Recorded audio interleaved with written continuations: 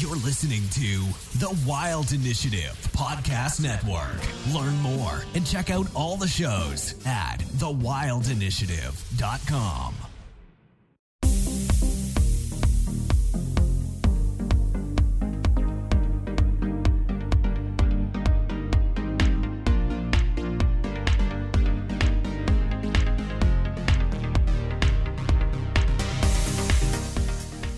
listening to the Fish Untamed podcast, where we talk all things fishing, conservation, and the outdoors. Today on the show, I'm talking to one of my best friends, Melanie Moss.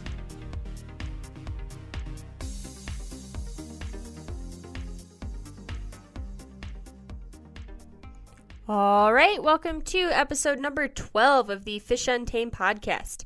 Today I am chatting with one of my very best friends, Melanie Moss, who just got back from a month of fly fishing in New Zealand with her husband, Jarrett.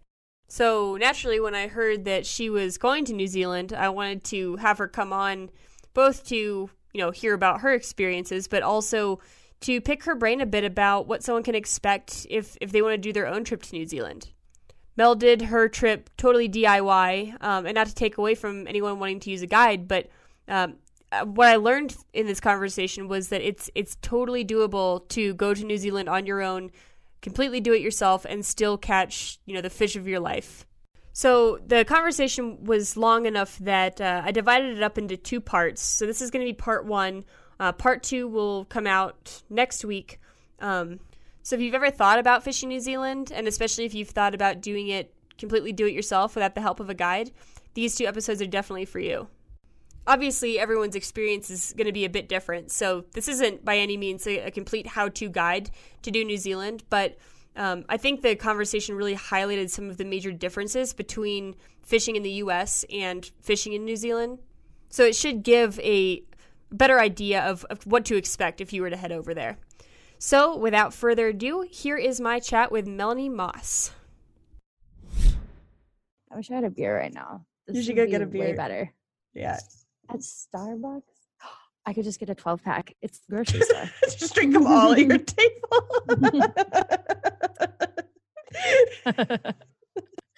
Bud Light number seven. that would be so Like, much better. You need to just go to Colorado. I'm already having so much fun.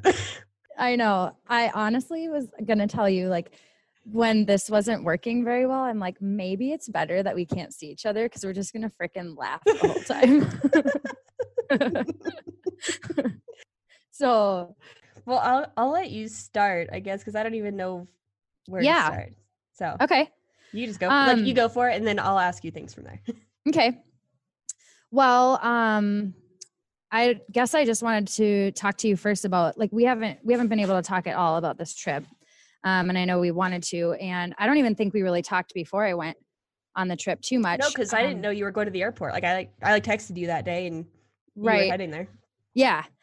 Um and I know I know we had talked, you know, a lot further in the past about New Zealand and just kind of I'm going there, I'm going to fish there and here's what I know about it, you know. Yeah, um, but it was very brief what we talked about and i don't think you know i don't even think i ever went into you know why did jarrett and i pick new zealand to go to as our you know celebration trip yeah. So for finishing what else was on the list?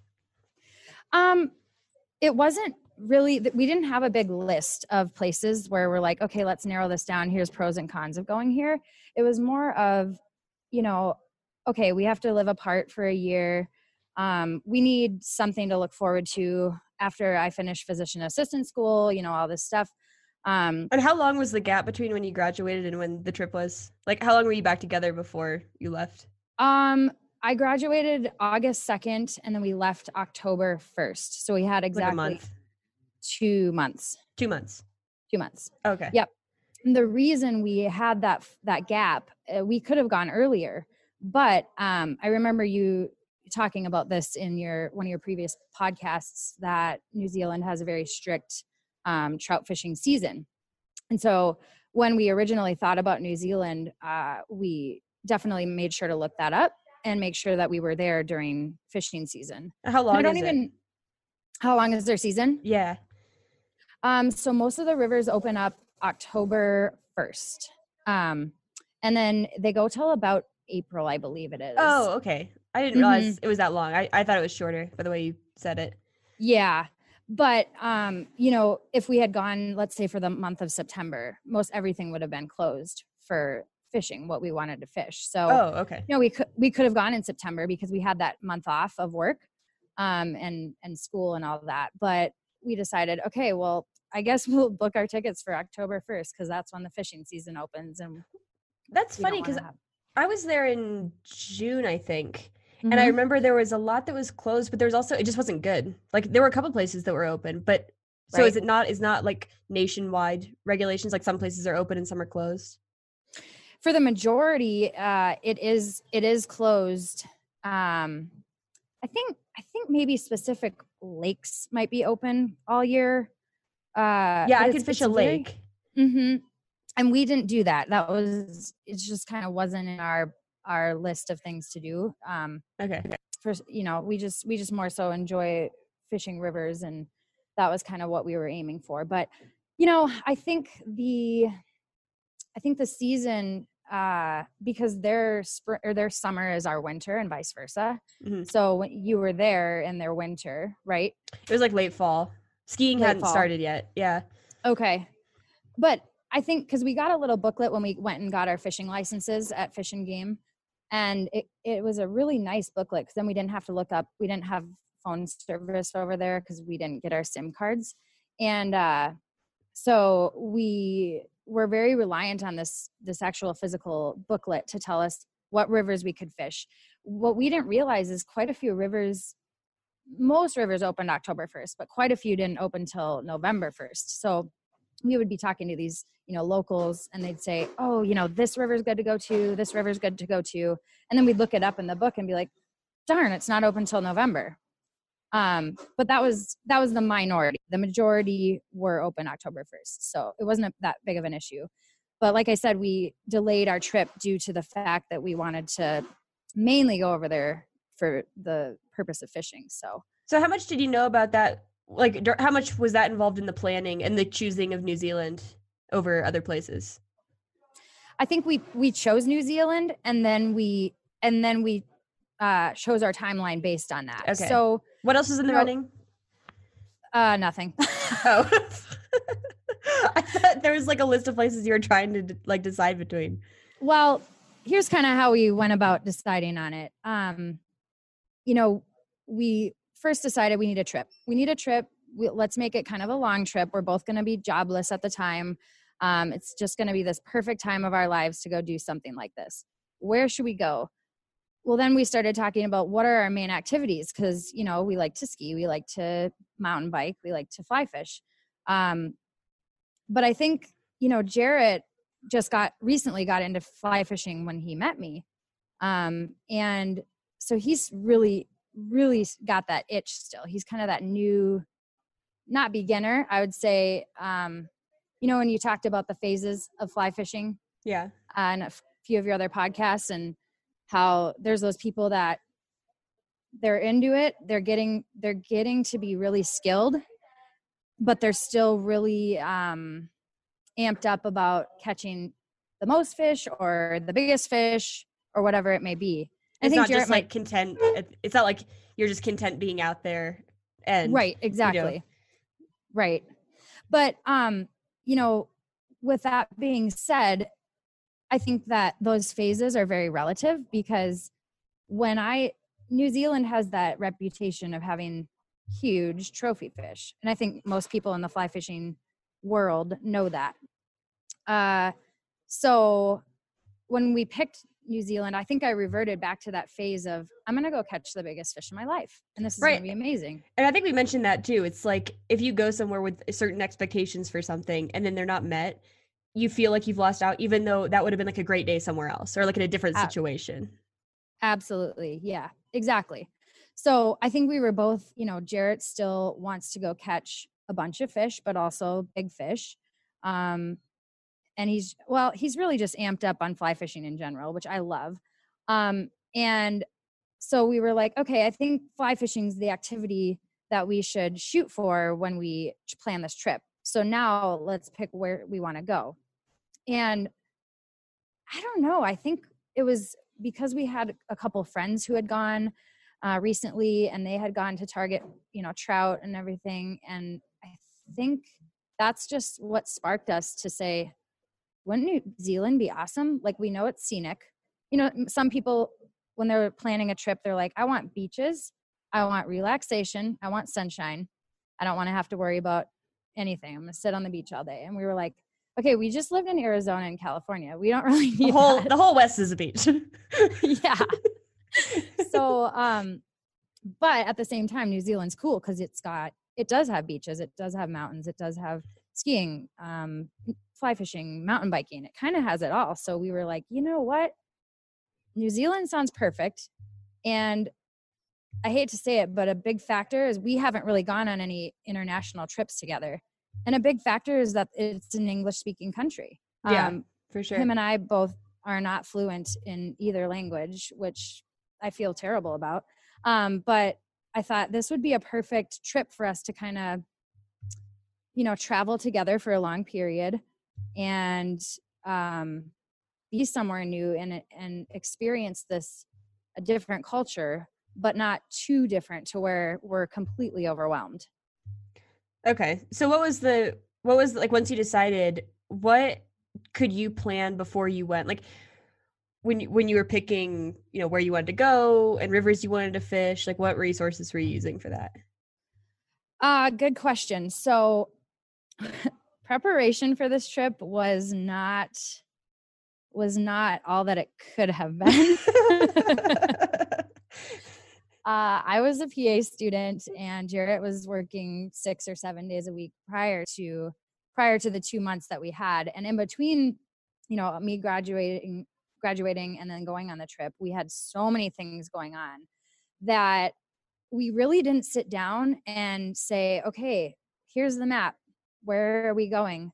You know, let's read, let's read these articles on what rivers we should go to or this or that. Um, it was more so I bought him a DVD called Trout Bum Diaries, Kiwi Camo, and I said, watch this. I don't have time right now, but I think you should watch this and tell me what we need to know about New Zealand. Where'd you find a DVD? I got it at Barnes and Noble and I was like, here's one of your birthday presents. and I think he said he fell asleep during it. Um, but he did get some information out of it. He told me, okay, based on this DVD, fly fishing in New Zealand is going to be extremely rewarding. We're going to catch big fish, but it's going to be frustrating as heck. That's about what he learned. And uh and so there was that and then we also as the trip got closer, um you know, we would read online here and there like about gear that we should bring or um you know, some fishing regulations about the rubber soled boots that we needed to get versus not, you know, not bringing felt boots over. Uh, things like that. Are like felt that. boots but- illegal or are they just like not Mm, recommended? Yeah. So, really good question. And I kind of had to research into that. And I was like, some websites were saying uh, they're completely illegal, and some were saying they're just frowned upon. But then I went to their fish and game website, and I don't know when the uh, the FAQ section was was written for about that, but basically they were saying we don't we don't tell people not to bring their felt soled boots over uh, or their gear. I think it's different. It must be different for hunting versus fishing too. Oh, Hunting different game. I'm not. I'm not sure actually. But what I took away from it is that just don't bring them because you have to go through. You have to go through a biosecurity. Um, just easier not uh, to. yeah, exactly. During the the airport thing, which is a whole. That's a different experience in and of itself. Because when we got to Auckland, we we were pretty sh- short on time to get to our next connecting flight to go into Christchurch, and they were like, "Okay, you got to bring all your gear through biosecurity." And you have to declare all of your camping gear, all of your hiking gear, all of your fishing gear, and you know, say, is it new? Is it used? has it recently been out in the mud or you know out hiking with your hiking boots And so that was interesting because we had all our bags packed so meticulously with all of our gear, and we brought a we brought a tent over in case we went back country. Um, and they said you got to bring your you got to get your tent out. We got to inspect it. Um, get your waders out. I actually brought new waders over um, because I had a pair. I had a pair from I think a year ago or, or more that I bought, but my Patagonia ones are still working fine. So I was like, you know what? I'm just going to keep these in case something goes awry with the other pair. Um, and it ended up being perfect because they were brand new to bring to New Zealand. So I just I was able to tell them at biosecurity Oh, that's nice. I had new new waders, yeah. And my boots were also new. Um, I got these this really cheap pair on Amazon of rubber soled boots because I was like, you know what? It's just for the month. I have my nice boots back at home.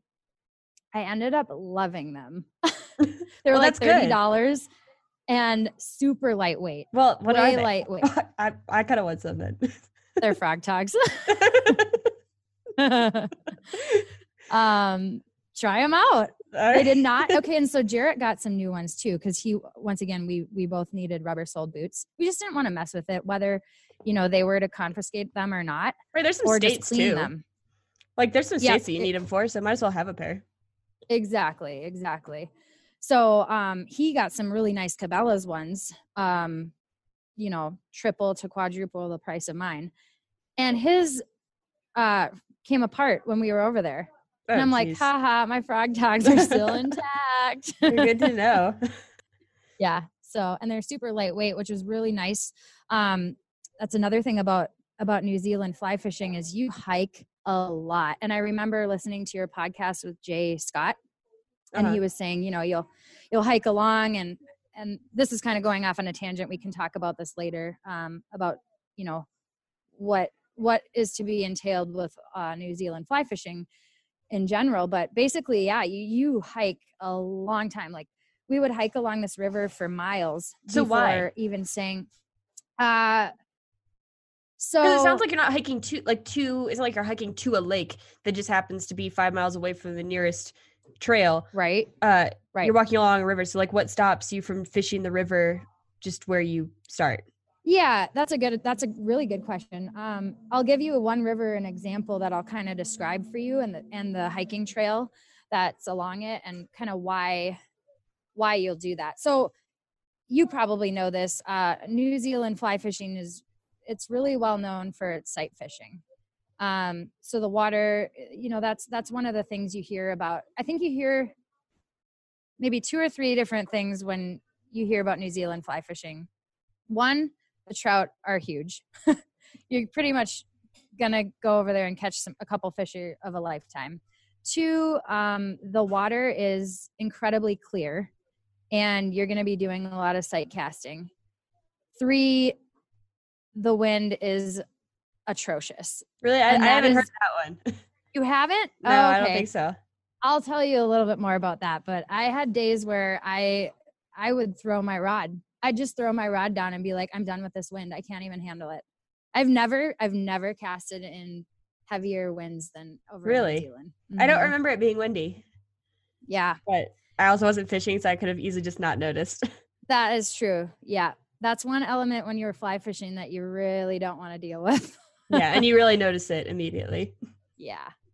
But uh so we were at this river and it was it was crystal clear. So you know we, we would ask a lot of locals and people at fly shops and things like do you fish do you blind fish? They call it blind fishing which is basically our form of fishing right? We Like don't- we not don't not sight sight casting. yeah we don't over in the states it's rare that i sight fish. Maybe a few places that we go in colorado but And they're usually small. Um, I feel like I can see them in like small creeks, but I'm not spotting giant fish generally in Right. larger rivers. Right. Yeah. So, you know, they said, no, honestly, we don't fish the water unless you can see a fish because there might be only one fish per, you know, quarter to half a mile of river. How? Like It's how just- does that how does that even sustain itself? Is it one big fish or just one, One fish? One big fish. One big Okay. fish. So Yeah. they just don't want to catch the smaller fish.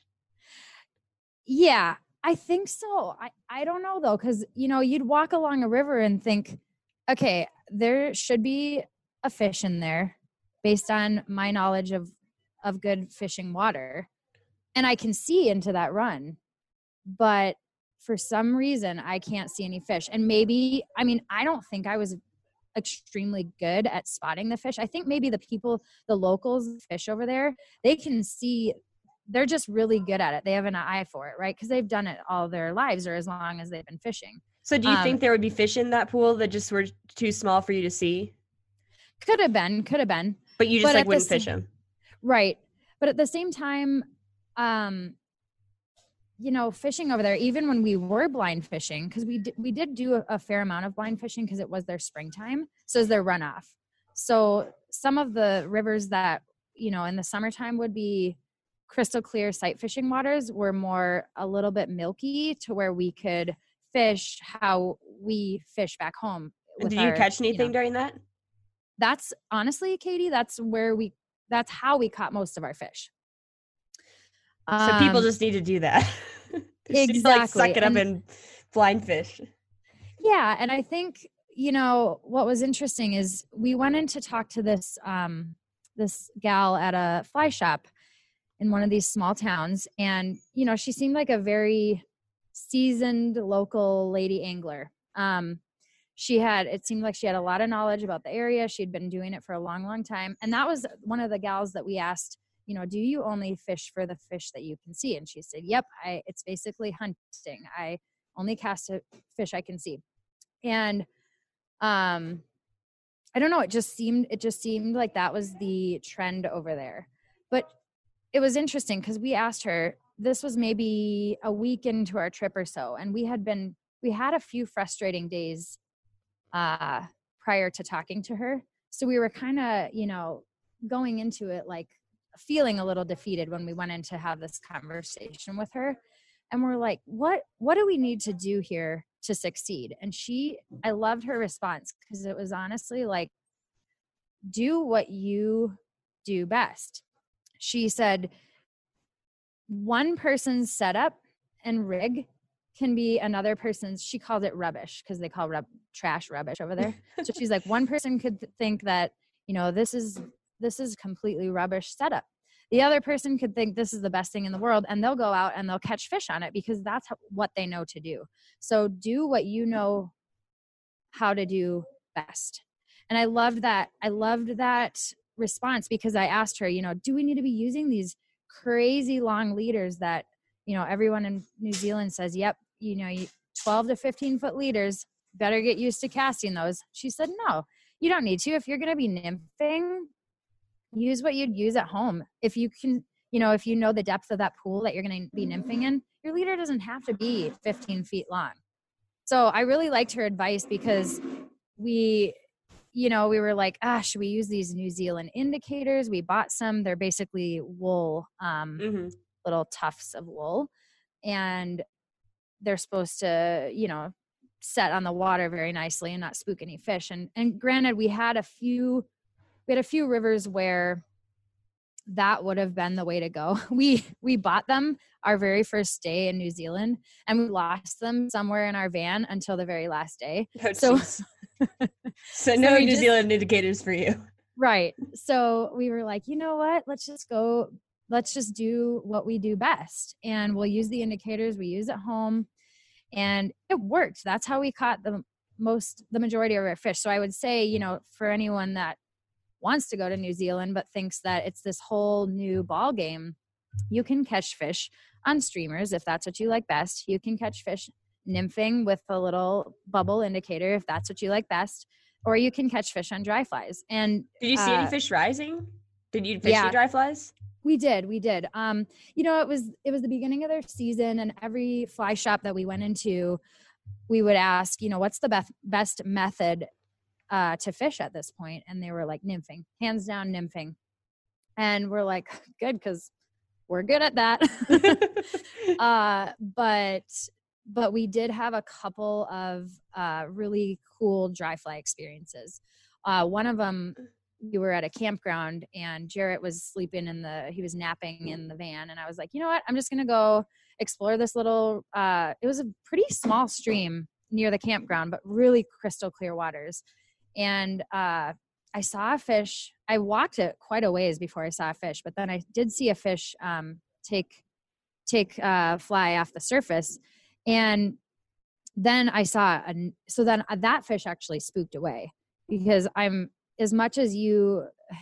Well, this is this is a different part of the conversation, but the frustrations of trying to uh, be sneaky on these fish is is outrageous. But um, I spooked that fish away, but I saw another one right way across the river. Um, kind of just working a little run. It it wasn't rising, but I was like, I wonder if I can get this fish to eat off the surface because it was a pretty shallow run. And so I stayed behind it and um, cast a elk hair caddis at it. And I think it was my second cast. It came up and hit it. And I was like, no way. You know, when you get a fish on a dry and you have it on before you realize that it actually hit, you like are fighting the fish before you actually realize, like, oh my gosh, that was crazy. This happens so quickly. yeah. There's always a So part of me when I set super the hook too on a dry that I'm kind of expecting the fish not to still be on it when I finish setting the hook. Because like half Right. the time, you know, the dry fly just flies right out and you gotta try again. So Right, whenever I right, pull it and the fish is actually there and it's still there two or three seconds later, I'm like, wow. This is a moment of shock. that went really yeah, that went really smoothly. right. And I think, you know, in that situation, had I not hooked that fish, I don't I don't know if I would have had another chance at it. But we did have a really awesome uh hatch one night. We were fishing this river, and this is another kind of interesting part of New Zealand. Uh, is there's a couple rivers that are designated as fly fishing only. So you can't come and spin fish on it. It, it was actually really, really a special experience because there was, you know, for us because we fly fish, we're like, cool. Nobody else but fly fishermen are allowed on this. Awesome. Um, but yeah, I guess if you spin fish, it'd be like, what the heck? But uh yeah, it was it was a super cool experience. It was on the North Island and it was very um very secluded, very out in the middle of nowhere, beautiful scenery around. And uh, we had an epic day on this river. And we decided to stay out there because we weren't sure if we were going to move on and go to a new spot or stay out there for a night. Because we had the van, which was really awesome. yeah, I want to hear about the van too, like separately. Yeah. Yeah i'll talk about that and just kind of how that gave us such freedom and flexibility um, with our the planning while we were over there but anyway we decided yeah let's stay out here. It was such an awesome day. Let's do it again tomorrow. Um, and there was a fish a fishing an angler access that also said you know self-contained campers are welcome to camp here. And nobody was out there. It was gorgeous right on the river. Um, and we had an epic hatch that night. It was amazing. I threw on, I think I could have thrown on, it, it was a mayfly hatch uh, for the most part, primarily, but I think I could have thrown on pretty much any dry fly and they would have gone after it. And it was so cool because it was, you know, all the way across the river. So it really tested our casting uh, Mhm. skills. And I had to stand, we weren't sure, the river was a little murky still, so we weren't sure how deep it was to to get closer to the run. Mhm. Um, so you know, we kind of had to help each other get out into the middle of the river, and then there was this one rock we could stand on and uh, get ourselves up above more. But it was such a rush. I can't even. I mean, you know the rush of dry fly fishing, where you're like seeing these huge fish just roll and their backs, and just you know there's a ton of them in there, and you can throw probably you know any of the staple dry flies that we carry in Mhm. our box and it's gonna work. And i was like yep you know bwo here we go. And it they just smashed it. But but it was awesome. It was fun because it, just the action of it you know i would fish it and then jarrett would and um, we would we would switch off. But um it was it was just so fun because we were loud we were we were yelling like hooping and hollering and you know oh that one you know you'd have you'd get a strike but then you'd obviously miss it and you know it's like every f- maybe every five strikes you'll actually hook into one um and yeah it was just super fun but so how big are the- these fish? Are like all the fish you catching, you know, really huge? Or are there some like ten inchers thrown in? Good question. Um, there were so New Zealand kind of, you know, when you go to a river and you know that there's just big fish, and then you catch and you catch a what would be a really nice fish elsewhere, I'm but all of a sudden Reef. you're like, yes, that is that's a very good example. You're like, oh, um, all the other ones were 24 inches, and this one's only 18. Yeah, yeah. This one doesn't even deserve to get its picture taken. right.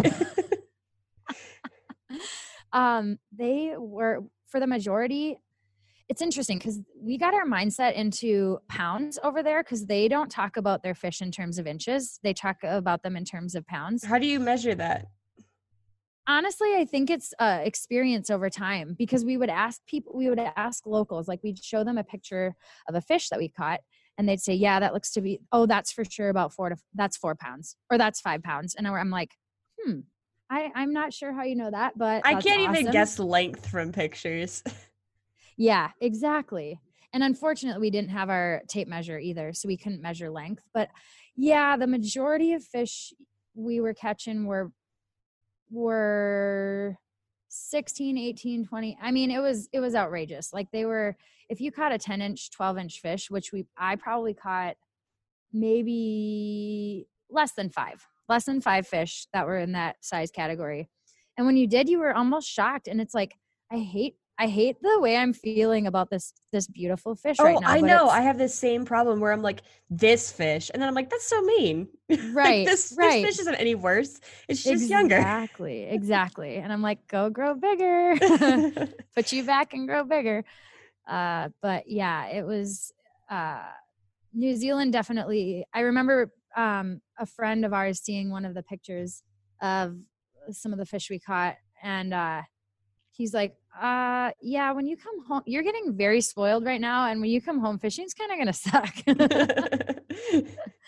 Uh but the fish were just they were beautiful. That that river that i was just describing um the is is actually the river in new zealand that's the that's like world renowned for the most hard uh fighting fish ever oh, really? So is this all on the South Island? Because you went to the North Island too, right?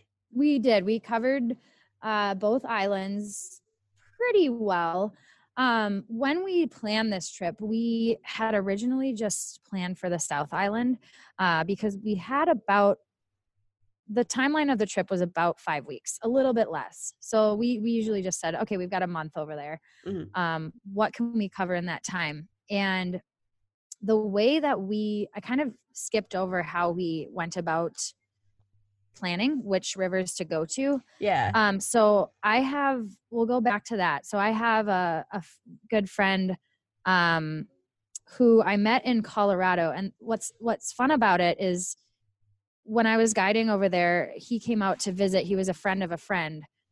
And I brought him fly fishing for his very first time ever out in Colorado. And now he, he went to New Zealand actually last year and the majority of his time was spent fly fishing and he absolutely just loves it um so it was pretty cool because he gave me most of the advice of what rivers to go over there That's to go to. nice.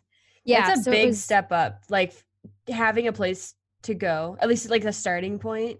Yeah, exactly. Because otherwise, we were like, you know what? We're gonna have to get a guide maybe uh, the first day or couple days that we fish, so that we can a get to know the techniques over there, and b uh, you know pick their brain about other places to go. And I feel like they'll you know be more willing if we go out on a trip with them. Right. So that was like the big debate in our heads was to get a guide or not to get a guide. Um, and we once we got this information, so shout out to my friend Shane if he ever listens to this, um, because he he basically made our trip happen for us. Uh, he wrote out probably I think three pages of just on uh, Microsoft Word. He just typed up this big long um, New Zealand fishing tips and places to go document for us. So it was super awesome. He started. He kind of broke it up into North Island and South Island rivers. Um, and just his experiences because I know he went out with a couple of guides over there. Um, and so I'm assuming they gave him suggestions as well. So it was basically we kind of through the grapevine got some information from guides over there. Um, but at the same time, we had been emailing guides before our trip to kind of get, you know, prices and where do they guide and do they have openings and things like that. What, you know, what do they focus on? Because we weren't sure. We we were trying to do this trip on a budget. Um, so we just weren't sure if that's where we wanted to spend our money or if we wanted to do more DIY the whole entire time. Um, and this document that we got from my friend, it just it made our trip happen. It was so awesome. He, you know, not only just wrote down what rivers to try, but he would say, "Here's where I accessed it." Um, this river was really difficult to wade through or wade around. Um, the bush they call they don't call it brush or forest over there they call it the bush mm-hmm. um, so you know the bush is really thick in this one it's overgrown um, but it's a gem of a river you got to try it or you know he'd say this river um, make sure you make sure you hike up quite a ways because that's where the big browns like skip the first few pools that's what gets fished the most which for the most part you know when where you park you're gonna know that those 1st mm-hmm. few pools get pressured the most but but yeah so that's kind of how we went about it and then um because we didn't have the use of our phones uh to use maps. I actually he also told me about this really cool app called uh, maps me or maps.me and what you can do is do you have you heard of that one? That app before? i think so. Okay so it was it was a lifesaver. Um we we got around the island solely based on that app.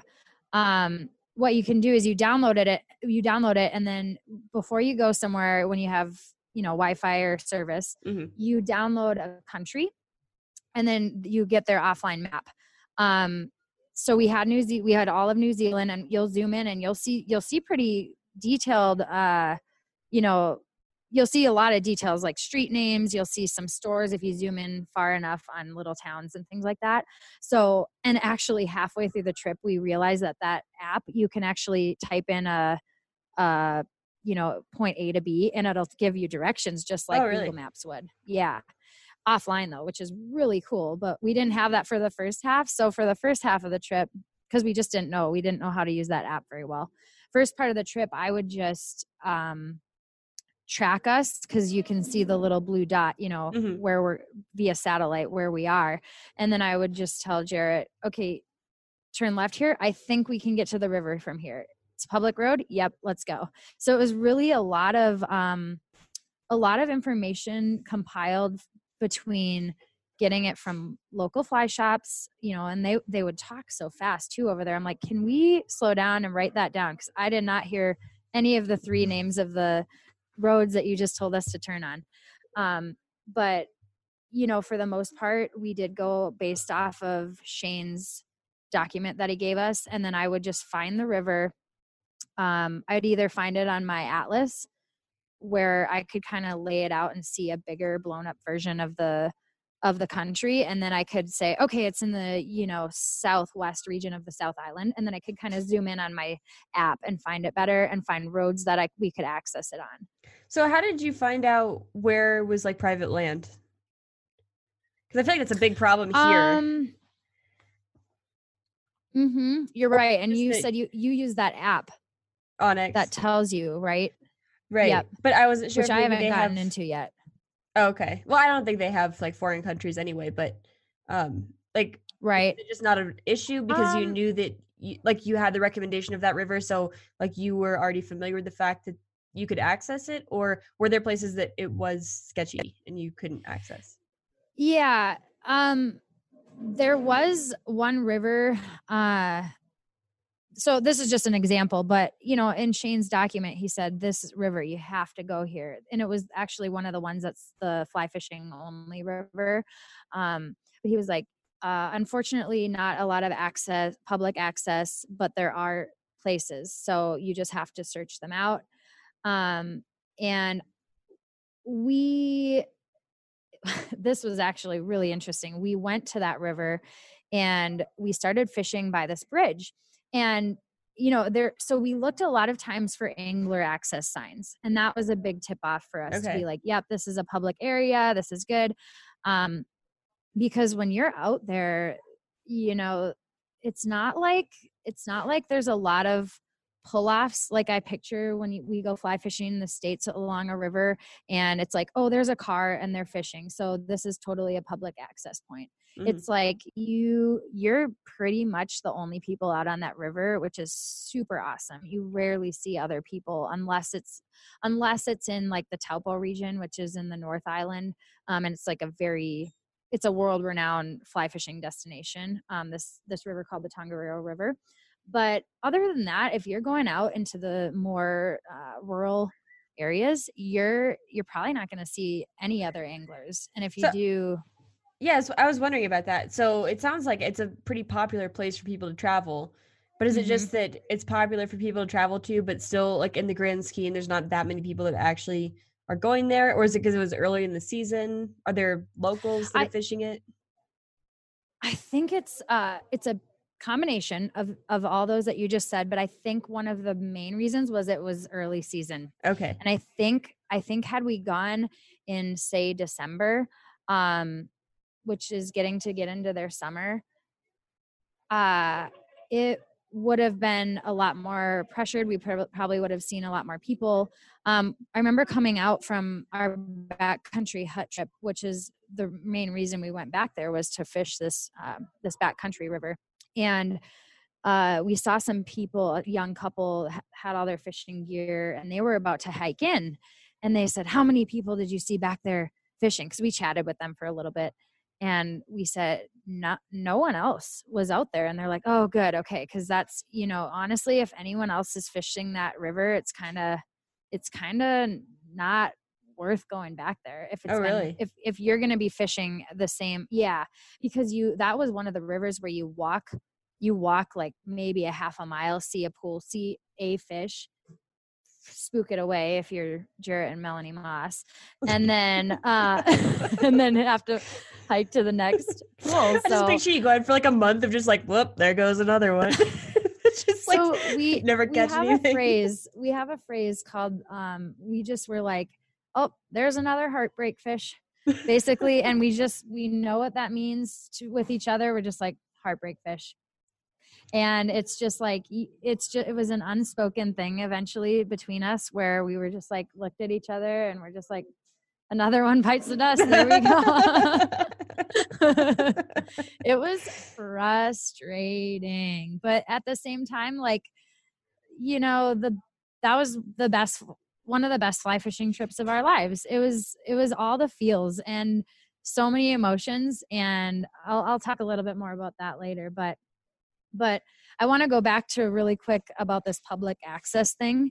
Uh so we were fishing that river and that we we started at this bridge and there was an angler access uh sign. So we started fishing and you know within within maybe five minutes we were hooked we had hooked into three two three fish by then. Um so we're like whoa this this river is fire. Um and we were having a blast definitely losing so many more fish than than we were netting. And that was kind of the theme of of new zealand. Uh Speaking fish, so when you do losing get one in, yeah it was a lot of fishing and some catching. That's that's why they call it fishing. so cliche katie. Um but yeah so we got there and um and we were fishing and we had a fish in the net and all of a sudden this guy came out of nowhere. I have no idea where he came from. It's this older guy and totally like this local dude that just goes around and fly fishes. Like the the tweed and uh cig- and cigar type of guy or pipe Okay. smoking guy that you were talking about in your previous podcast. Um Still keeping it alive over there. totally yeah.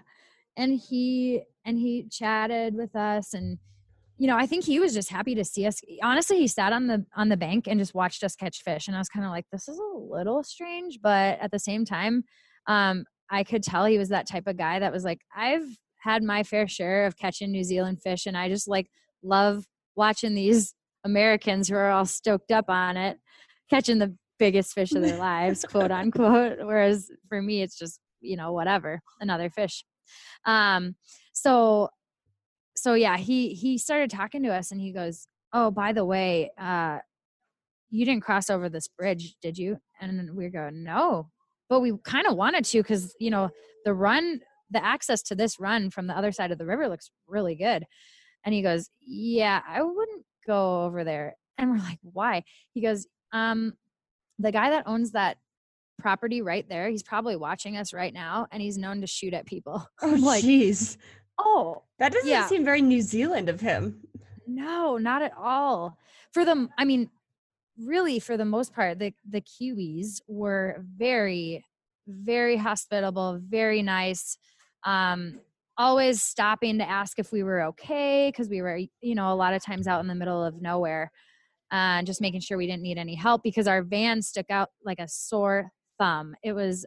It had a Oh yes, tell me about it. the. Let's- It's time for the van. it's time for What was his name? Daryl the Daring Dragon. Um, the right, reason continue. Uh, the reason it was daring was because it went to a lot of places that nobody else would probably go in their little tourist van. But it was it was uh it was quite the sight. We rented from Escape camper vans. There Did you both drive?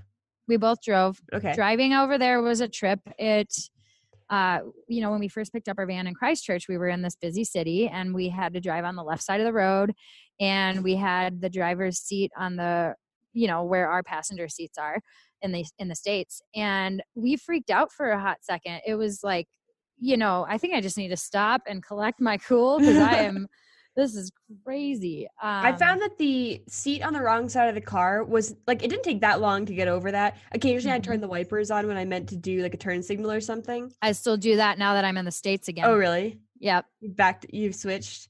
I found that only took a couple couple times of driving to get used to, but yeah, driving on the other side of the road was a lot more stressful because you're used to things like I can turn right on red and it's left on correct you know it's Yep. just the opposite and i definitely like cut across i cut people off over there because i was like oh i can do this safely and i would just like cut across traffic by accident Yep.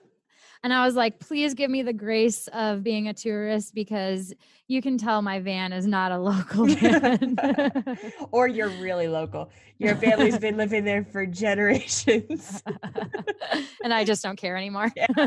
I'll cut people off if I want to. Uh yeah, I always found myself hugging the um the shoulder a little bit because I was like, this is just yeah too just weird. stay out of the I yeah i don't know how close i am to the center. It just feels odd. Um but anyway so daryl the daring dragon he uh he was a very trustworthy home on wheels for about a month but he was Um, painted like a dragon like that's why he's called yeah so escape yeah so escape camper vans is the company we went through um and they were great uh so you know i would recommend them if anyone wants to go over there but there are a lot of van van companies over there um we just had researched this one and thought okay they've got pretty good reviews and they're uh, kind of medium middle road price price line so we thought why not? Give it a shot. Mhm. and um, all their vans are uh, painted very very in a very unique style and they're all different. So they have the artists come in and you know one van will have let's say the kiwi or the the kiwi all over it you know the local kiwi bird all over it or ours had the big dragon on the side um they would have one of them was like winnie the pooh characters. It was it was wild. You would and then you can't choose either. So you you show up and you get what you get and it's like okay we could either get a really cool design or one that we're like pretty embarrassed to drive around for a month uh like winnie the pooh i wish you had gotten winnie the pooh we ended up getting Daryl. We named him Daryl. Um, but at first we were like, darn, I wish there was like a really big brown trout on the side of our van or something really cool like that. Instead, we get this dragon. And by day, so we drove it around Christchurch and we're like, everybody's looking at us. I know it. I know it. Everybody's staring.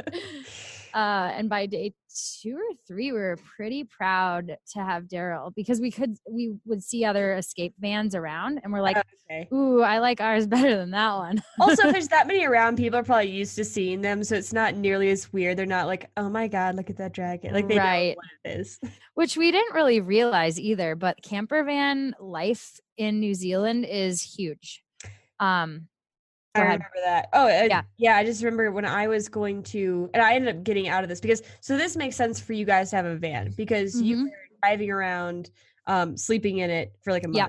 When I was there, it was for like nine days, and when I went to rent online before I went there, the cheapest option was a van, and I was like, I have accommodate, like I was taking Airbnbs there. So I right. was like, I don't really need or want a van. It's just me. I've got one bag and I've got places to sleep. Like this just seems like a hassle to drive around on the wrong side of the road. yeah. When I got to the rental place, they had an extra car and they let me take it. So I skipped out of the van. Okay. But I do remember seeing a lot of vans and that's like what they had pushed at the start when I went to rent. They were like, get this van. It Right. like everyone was driving vans. Yeah, because New Zealand is, you know, for the a lot of the majority of their economy is run off tourism. So, oh yeah, I'm sure. yeah. So, uh, so van life, van life was really cool. We actually uh, didn't really get sick of each other. We didn't get sick of it. Yeah, that's what I was gonna ask too, because I could see like I'd be like, Mike, we need to take a break after like a week. Yeah, let's just go get it. I'll get my own hotel room. You get your own. Like, But you didn't get sick of each other. It went well. It went really, really well. Um, spring in New Zealand, the weather was very unpredictable. So we would get, you know, sometimes three to four days in a row of rain. And we're like, you know what? I'm kind of sick of van life right now. Nothing dries out, it's always damp. Um, you just you don't have that inside space really to air things out. So Uh-huh. that got a little that was the only thing that got old, but I loved the flexibility of being able to say, you know, we thought we'd stay at this river for two days, but it really didn't fish the way we wanted it to this day. So let's go to this next one. Um, or hey, let's stay here another night. This was amazing and we want to do it again tomorrow. That's like my Um, favorite thing, having that kind of flexibility on a trip. Like yeah. I love planning, but I love when you have so much time in a place that you can just like guilt free be like, let's just stay here another night. It's so nice to not feel like you are being pulled away from somewhere you want to stay. Yeah.